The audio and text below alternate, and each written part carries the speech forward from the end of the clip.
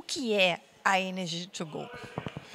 A Energy to Go é um serviço de compartilhamento de baterias portáteis é, e ele nasceu é, de uma necessidade que a gente percebeu é, na, que o cliente tem de ter mais energia enquanto ele está em movimento.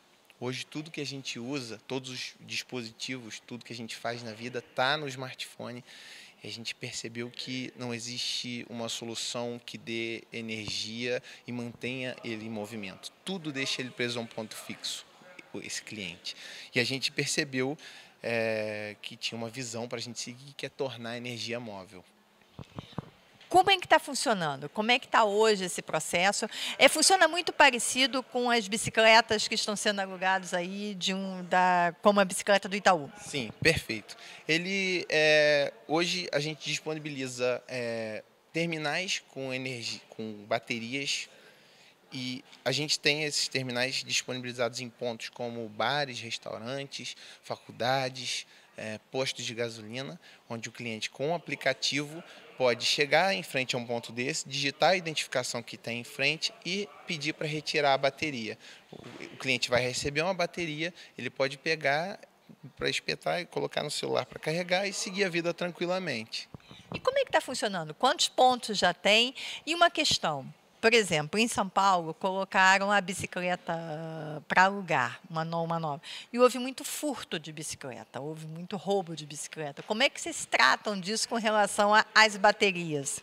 Ah, como funciona hoje? Hoje, no aplicativo, o usuário já pode colocar o cartão de crédito dele e com isso ele já, a gente já tem a segurança de que ele não devolvendo a bateria, ele vai ser cobrado diariamente e no final de 10, 12 dias ele, faz, ele vai ser cobrado da bateria inteira e ele sai do serviço comprando uma bateria. Então hoje o que garante para a gente é, que a gente vai ter a bateria devolvida é o cartão de, de crédito do usuário e ao mesmo tempo esses pontos são disponibilizados em bares, restaurantes, são locais que são supervisionados de alguma forma e sempre tem alguém responsável por ele.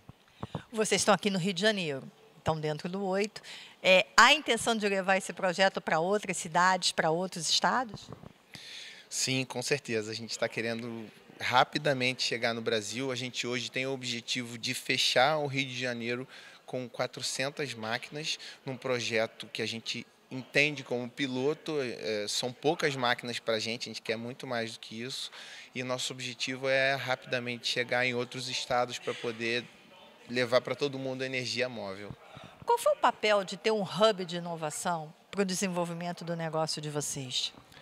É sempre importante ter a mentoria de gente que já passou pelo por, por desenvolvimento de negócios e sabe exatamente quais são os percalços que a gente vai trilhar. Então a gente já ouviu muita coisa sobre tecnologia que ajudou a gente a melhorar cada vez mais o nosso sistema e além disso é, a gente sempre contar com uma empresa que esteja ajudando a gente nisso, uma empresa grande que ajuda a gente até a levar a empresa que leva o nosso nome junto com o dela. Então a gente sempre vai falar para todo mundo que tenha hoje junto com a gente. E é, como é que vocês estão se preparando para voar, para sair desse hub de inovação? Vocês têm aí mais alguns meses só. 2019 vocês vão estar fora desse ambiente? O que, que vocês estão planejando? Como é que você está enxergando 2019?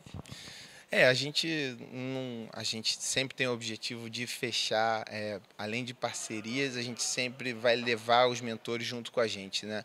Então a gente não sai de nenhuma reunião sem ter levado o telefone dele para continuar perguntando depois, porque não adianta, a gente vai estar tá sempre aprendendo, as etapas serão cada vez mais complexas e complicadas, a gente tá, tem que estar tá se preparando sempre para estar. Tá, é, desempenhando o que a gente precisa para poder fazer a Nest Go crescer. Mas a gente tem se preparado bastante, a equipe está aprendendo cada vez mais e ficando bastante experiente para poder dar esse voo. Vocês sabem, vocês têm ideia do que vocês querem daqui? Vocês hoje, de vocês se transformarem numa startup efetivamente?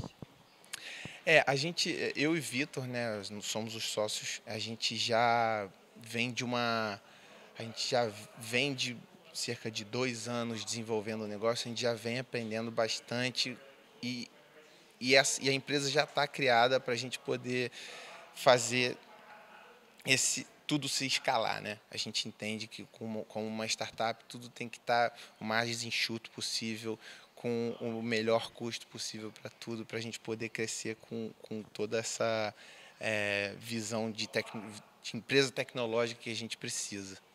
Se você precisa, se você pudesse dizer assim, de uma política pública para startup, um ponto, o que que você acha que é o mais importante que já poderia ter a partir do ano que vem? Política pública.